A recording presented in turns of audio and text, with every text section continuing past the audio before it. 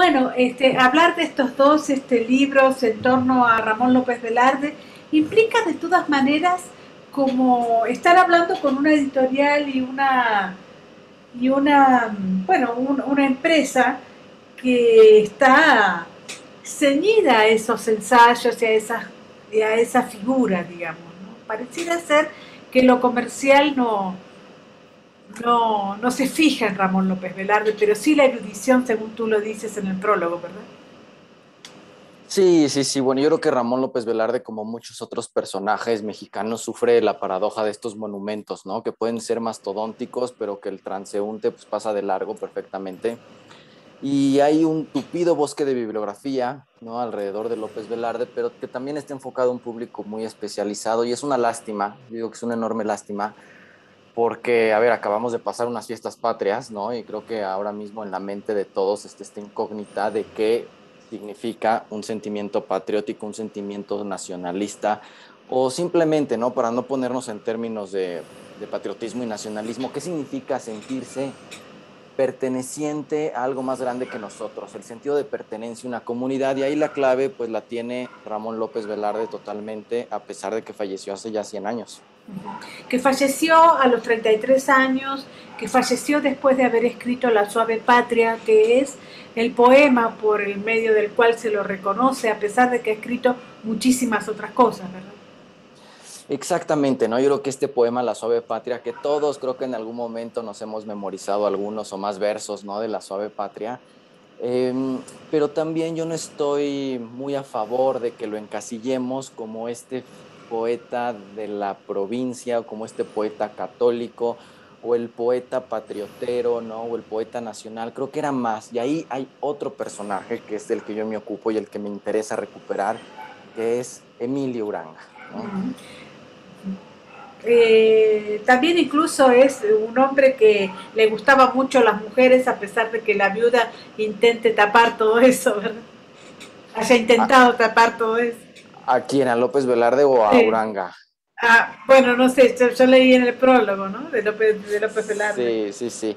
Bueno, claro, López Velarde era un enamorado, ¿no? Eh, absoluto. Yo diría que un enamorado del amor no, pero él entendía el amor también como una especie de privación, de contención, de represión, es decir, no es este amor místico, ¿no? Que busca la unión inefable con la totalidad eh, o con la plenitud, no es tampoco un autor de versos eh, sensibleros, él entiende el amor como una dolencia, como una exquisita dolencia, y de ahí el título de, del libro que acabo de sacar. Ah, ¿Por qué Sebastián Uranga con Ramón López Velarde? ¿Qué, qué este, ligazón encuentras tú y por qué estas dos personas aquí en este libro? Claro, Emilio Uranga es un personaje bien curioso, es un personaje mm, sepultado, olvidado, a pesar de que fue muy importante en el siglo XX. Él, Mónica, él nace en 1921, o sea, unas semanas después de que fallece Ramón López Velarde, nace Emilio Uranga, fallece en 1988, o sea, le toca vivir una época bien interesante en el país, que es el auge del presidencialismo pero además él es un testigo privilegiado porque él va a ser asesor de varios presidentes, él va a, ser asesor de López Mateos, de Díaz Ordaz, de Luis Echeverría y de López Portillo, ¿no? Y él desde su juventud va a ser un lector incansable de Ramón López Velarde hasta el punto que va a decir que no hay para él poesía anterior a la de Ramón López Velarde. Y él eh, a lo largo de su vida, estoy hablando de 30 años, entabla un diálogo con el poeta zacatecano e interpreta radicalmente el nacionalismo de López Velarde. Y esto eh, me interesa mucho poner en el libro, me interesa mucho platicarte ahora, Mónica, este nacionalismo bien entendido de López Velarde eh, por Emilio Uranga, ¿no? ¿Qué es aquello que nos une? O sea, creo que esta es una pregunta muy vigente, nos la podemos hacer hoy, eh, siglo XXI, 2021 en plena pandemia, ¿no? ¿Qué es aquello que nos une? ¿Qué es aquello que hace comunidad? No vamos a hablar de color de piel, no vamos a hablar de una lengua, no vamos a hablar de una cultura porque tenemos diversas culturas. La respuesta para Emilio Uranga, que es una respuesta que da, que encuentra en López Velarde, es la vulnerabilidad. Somos cuerpos vulnerables, a merced del azar, atravesados por una inseguridad que nos constituye. Esto es lo que nos humaniza. Y este es el sentido de pertenencia que debemos cultivar. Yo ahí en el libro recojo todos los artículos que escribió Emilio Uranga sobre Ramón López Velarde a lo largo de tres décadas, ¿no? de modo que es un diálogo apasionante, es uno de los dísticos más profundos de nuestra cultura, diría yo, ¿no? López Velarde y Emilio Uranga. ¿Qué diferencia se encuentra entre Juan Villoro, que es un poco el difusor de Ramón López Velarde en estos tiempos, sobre todo con la novela llamada El Testigo, y las, eh, las acepciones y los conceptos que tenía Emilio Uranga sobre Ramón López Velarde.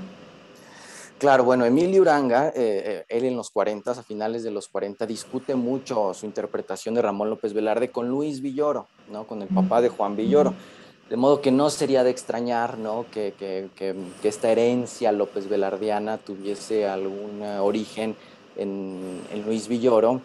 Y eh, yo diría que lo propio de López Velarde, de Emilio Uranga, que es aquello que lo, lo, lo, diferencia ya no solamente de López Velarde de Juan Villoro, sino de, de muchos otros López Velarde, es que para, para Emilio Uranga, López Velarde tiene una interpretación que él llama íntima de la Revolución Mexicana.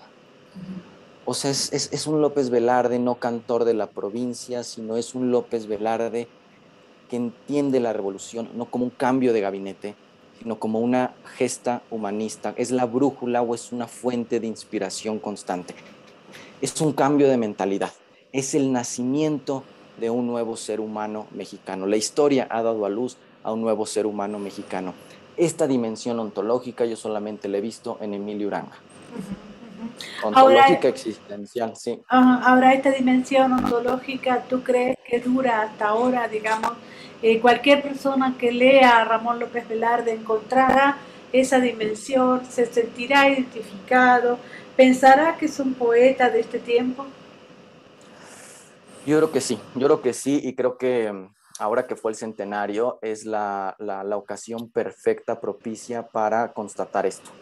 Porque uno lee a López Velarde y uno se siente identificado con esta fragilidad, con esta mendicidad. En algún momento López Velarde dice, yo soy el mendigo cósmico, es decir, mis ayunos, mis penurias, no son más que el reflejo de un ayuno y una penuria cósmica existencial que afecta a todo cuanto existe, a los seres humanos, pero también al reino animal, vegetal.